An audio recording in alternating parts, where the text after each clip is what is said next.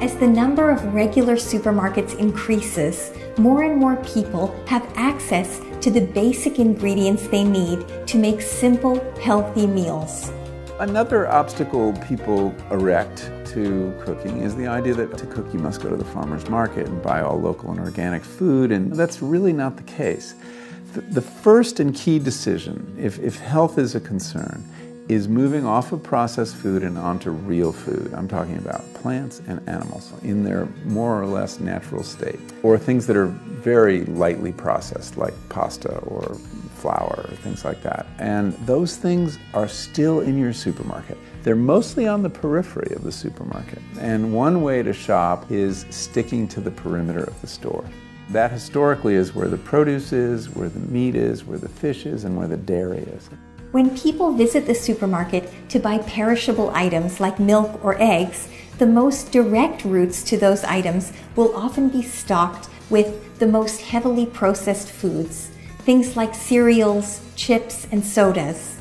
In many countries today, food marketing is a big business. In the US alone, billions of dollars are spent establishing brand loyalty and placing highly processed items at eye level where we can easily reach them. This can make it difficult to leave the supermarket with only the milk and the eggs we intended to buy. For this reason, it's a good idea to make a shopping list before you go to the store, and then try and stick to that list. Going grocery shopping when you're hungry can also dramatically increase the temptation to buy calorie dense, highly processed foods. Avoid the center aisles. The center aisles are where the imperishable foods, the foods that are immortal, live.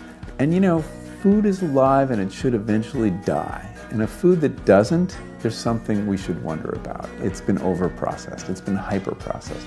One way to tell if a food is hyper processed is to look at the number of ingredients listed on the packaging. A food that contains fewer ingredients is almost certainly less processed. Also, if we can recognize the ingredients listed, this almost always means the food is less processed than foods containing ingredients that the average person has never heard of. And remember, foods that don't come with ingredient lists, like fruits and vegetables, are usually the best choices of all.